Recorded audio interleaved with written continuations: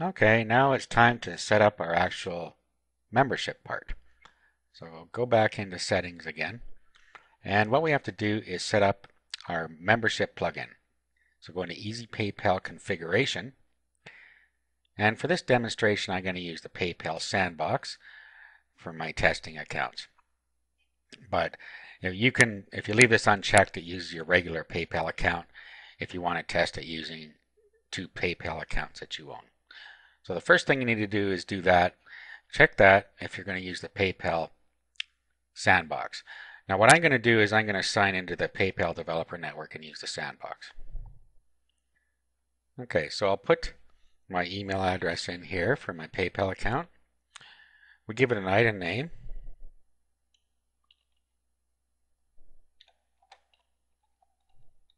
Whatever you want to call it an item number for PayPal. It's optional. Let's just call it 1, 2, 3, 4, 5, 1, 2, 3, 4, 8, or whatever you want. The amount you're charging for the payment on your membership site. So let's say 12.49, and then US dollars or whatever your currency code, just type it in there. Number of days, so we're going to go 30 days in this case. Down here, if you're going to have a trial period, you would put it in here. Here you have a login message or a user message. What happens is when somebody first registers for your site, this is a message they will see before they're directed to PayPal. You can also add a login message down here. Under the exception list, this allows people that are in the exception list to see the pages without having to pay. And down here, categories, and we'll get to that a little later, and we'll get to these other things a little bit later. Now, so this is fine the way I want it. So I'm going to update that. Now what I have to do is I have to get this IPN URL. So I'm just going to copy the link location. Then I have to go into my PayPal account and set up the IPN or the instant payment notification to get this to work. So I'm going to go into my Sandbox account or your PayPal account, whichever you're using to start with. And then I'll sign in here and set up the IPN. And it looks exactly the same whichever account you use. So first log in.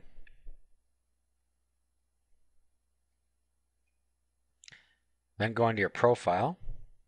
Then down here go into instant payment notification. Now you want to edit this.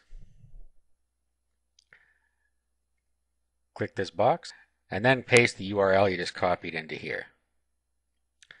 Click Save. And now your instant payment notification is now pointing to the IPN notification on that site to make sure that your users are automatically enabled. Okay, so let's go back here. And now we're basically all set as far as this is concerned for our monthly site. Now what we have to do is we would want to have some content. So let's go and first let's set up a couple of categories. We'll add um, a one called paid members.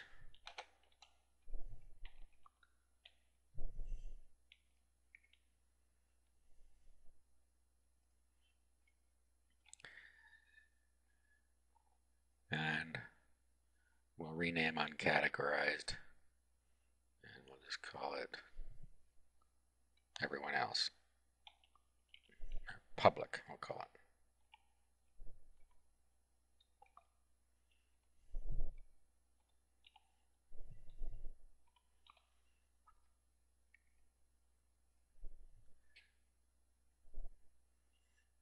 Okay. Next, what we're going to want to do is we're going to want to manage our pages. Delete this thing. And then posts delete that. And that'll delete the comments under it. And now we're going to write some new stuff. Now what you might want to do is write a page to make your home page. So click on write then page and then a title for your home page, say home page title. And then some sort of introduction in here.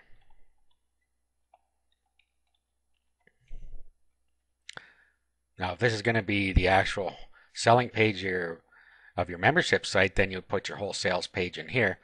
If it's only going to be available to your members, you're going to have a different sales page and a link that points to this page, then you can just put your introduction here. Depends how you want to set it up. Okay, so let's just save our page, just publish it. And then what we want to do is go back to settings and set our static home page. So go to reading and then click a static home page or a static page and then select the front page. We'll just call it our home page. We'll save our changes. Okay, now if we were to go and view the site, that's been set to our home page now. Okay, so let's go just back where we were. Now what you would do is you would start setting up your content as normal. For your people that are public, you can just write anything in here and they'll be able to see it. So public stuff is just like any other blog entry. But now let's have a look at private stuff. So what we'll do is here is we'll say private members area.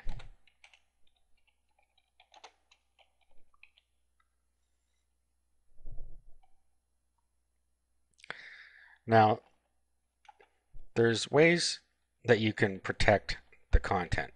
So the public can see this,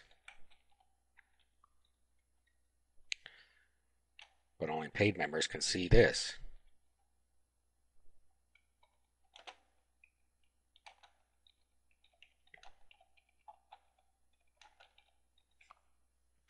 And all we have to do to protect content is to put this character string before it. There's a square bracket like that, pay, and another one like that. And then when you're all done,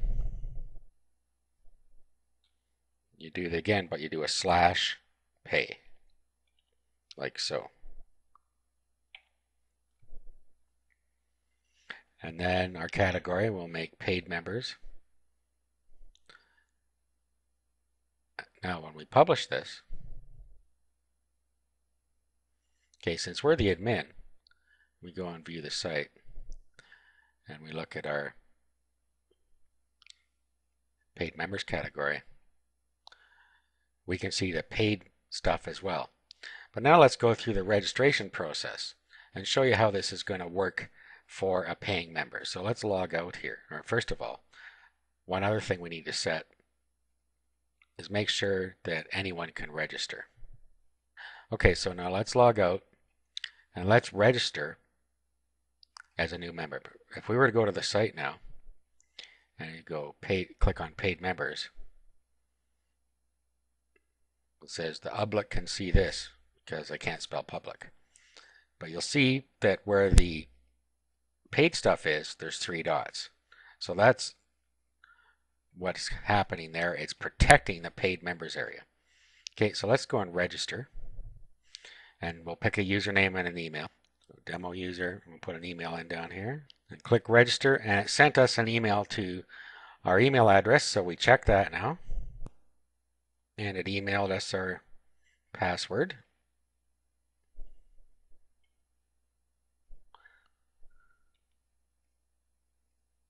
So now we key in our username and our password goes in there. We click login.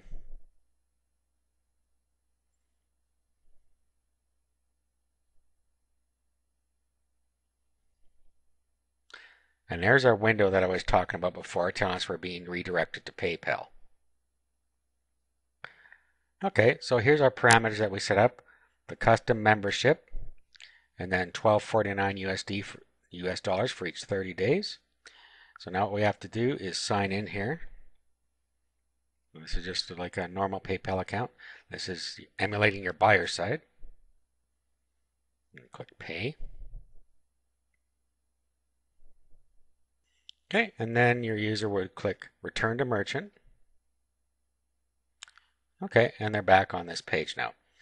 Now what happens is the IPN has notified our script on this side. So when I click paid members, you'll see there's the public can see this, but only paid members can see this. So our paid content is now visible. So that's how easy it is to have content on your site that only members can see. Now in the next video, I'll show you a way that you can set up multiple categories for memberships, but only for one-time type of payments, not for subscriptions.